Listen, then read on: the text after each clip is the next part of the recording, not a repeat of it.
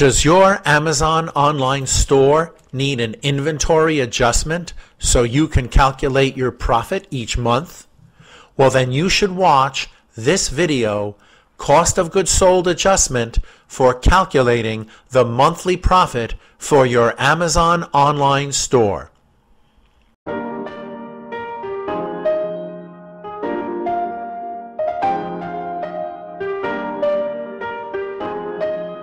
If you have any questions about this topic, you can leave them in the comments section below and I'll do my best to help you.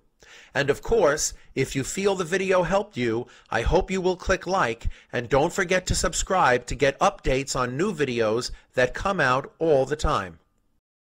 How do you know your monthly profit from your Amazon online store? Well, you know the money that comes in is the amount of gross sales that goes into the account that we call and Amazon calls product charges. That's the gross sales that were recorded as each sale happened and represents the sales price from the items that were sold to your customers. You must subtract what you paid for those items in order to know your gross profit. But how do you know what you paid for the specific products that were sold?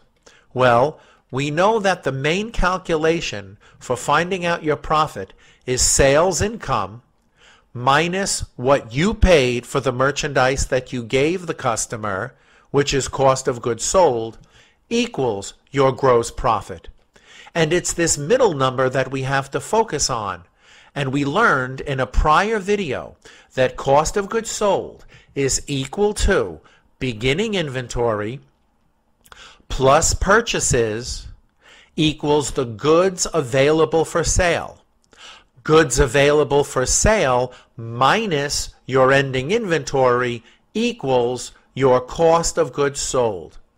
So when you look at these numbers, you know that your cost of goods sold is 600 because $750 of goods available for sale that you were able to sell minus $150 in ending inventory that you did not sell equals $600 which is the cost of goods sold. That's what you paid for the merchandise that went out. So how do we do this in QuickBooks? Well, if you look at the prior video, the one that we recorded the deposit from, or the deposit statement, these were your accounts in the chart of accounts. And it was that account, product charges, that represents the sales. That is what represented the money that came in from the customers. Now, we must add three additional accounts to the chart of accounts in order to be able to have QuickBooks find your cost of goods sold. First, we have to put an account called inventory asset, and that's a current asset. And if you watched the prior video, then you know that that represents the beginning inventory of one month, which is the same as the ending inventory of the next month. Actually, it's vice versa. The ending inventory of one month which is the beginning inventory of another month. Anyway, we have to put the account in the chart of accounts. List, chart of accounts, account, new. This is a current asset and it's called inventory asset.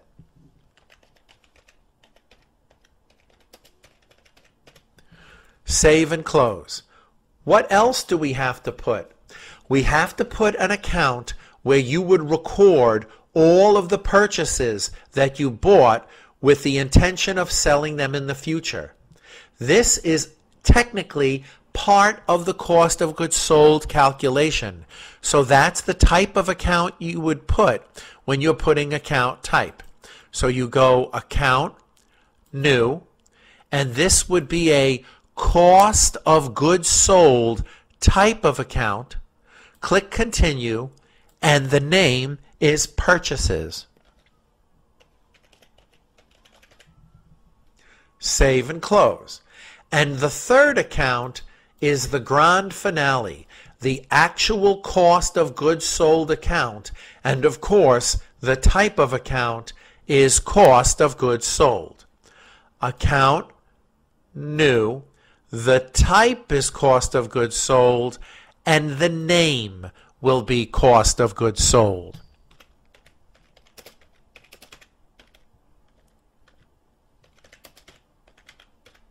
Okay, now save and close. And now we have the three accounts we need for our cost of goods sold calculation. Now, if you remember our previous video, the example statement that was taken from an actual online store that we recorded together was deposited on April 3rd of 2019. That deposit was shown in the first video, or rather a prior video in this little series. The prior deposit recorded sales income into the account named Product Charges. Everything else that was listed on that deposit statement was an expense.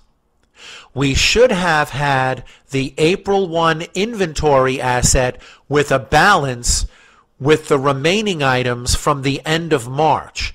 We didn't talk about that in a prior video, but that's what would have been there had we been doing this consecutively. Now, we have to set up for that in order to show the cost of goods sold calculation.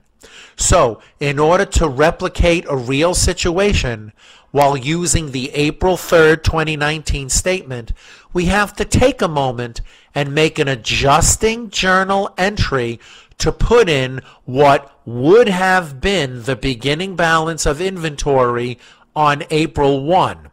So this is something you only do when you open your Amazon store and you have a bunch of inventory sitting and waiting to be recorded. This is not something you'll do every month. What I'm about to show is not what you will do every month. It's what you would do at the beginning if you had inventory ready for sale before you started using QuickBooks. So just watch this journal entry dated April 1. You go company, make general journal entry, put the date April 1 of 2019. And the account that you would debit is the inventory asset for $4,000. And the account you would credit, which is usually the balancing account when you set up your QuickBooks, is opening balance equity. Now, I cannot get to sidetrack or segue or tangent off into accounting theory. But you should know that generally speaking, opening balance equity is the balancing account when you make a journal entry setup. And you click Save and Close. Now we're prepared to actually record what we need. The first thing we have to record are the purchases during April of 2019. Now let's imagine two example purchases of inventory during April of 2019 so that you can see how you would record your purchases of your product. Let's imagine April 9th, we paid Maggie the merchant $1,000 for inventory to sell. Well, very simple. You write a check and you click April 9th and if Maggie the merchant isn't on your vendor list, you put her on the vendor list.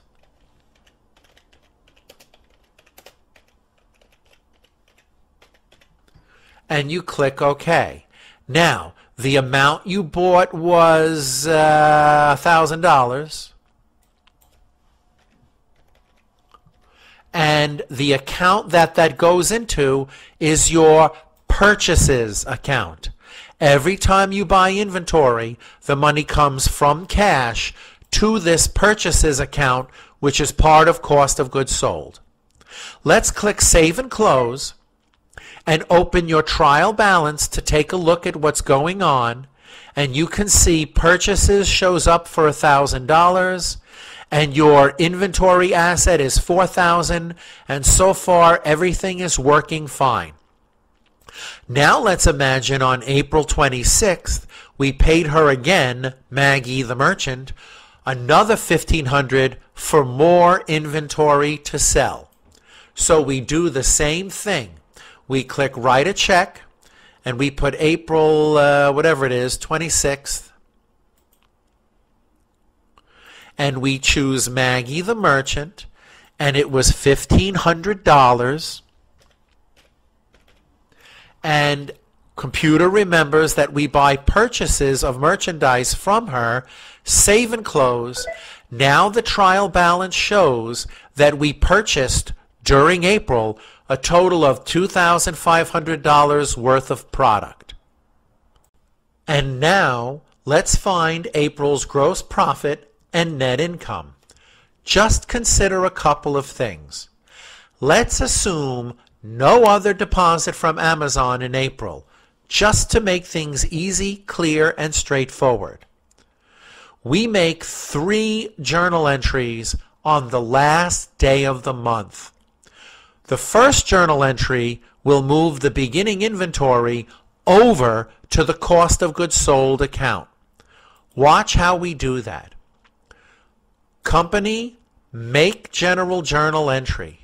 Now, the date will be April 30th. Okay, the account is inventory asset. Now, inventory asset has a $4,000 debit balance. So in order to wipe it out, we put a credit of $4,000. And that's how we and, uh, wipe out the inventory account. The balancing debit goes to cost of goods sold. So step one, credit inventory asset for the beginning balance and debit that same amount for cost of goods sold. When we save it, we see inventory is temporarily zero and cost of goods sold is temporarily $4,000. Now, step two, move the April balance of purchases over to cost of goods sold. Same idea. Purchases has a debit balance of 2500 Company, make journal entry, same date, April 30th, but this time it's purchases that is credit for its ending balance. And the balancing debit goes over to cost of goods sold. So again, step two, credit purchases to make it zero, and balance that out by debiting cost of goods sold. Save and close. Purchases goes down to zero so it can start fresh in the next month measuring how much you purchased in that month. And cost of goods sold is temporarily $6,500. Now the grand finale. Put the counted April ending inventory.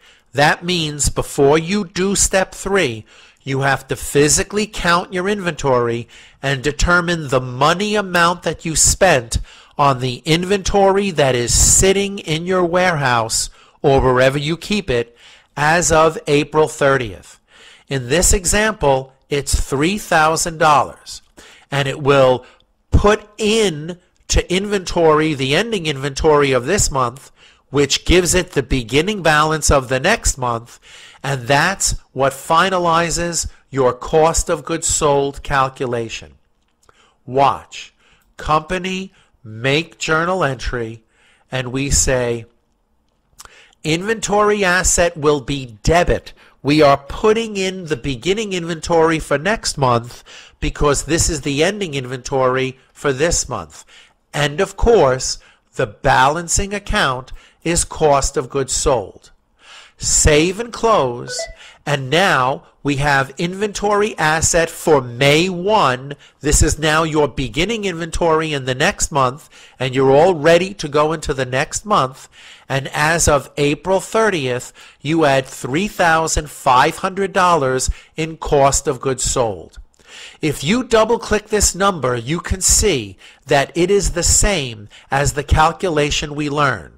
The cost of goods sold at the end of April is equal to the beginning inventory plus the purchases during the month minus the ending inventory. And these journal entries enabled us to properly calculate our cost of goods sold. And now when we click profit and loss, we can see the sales income from product charges was 13,659.22, but what we paid for the merchandise we gave the customers was 3,500 and therefore our profit from buying and selling merchandise was 10,000. We then subtract all the other operating expenses we would have to get our final net income.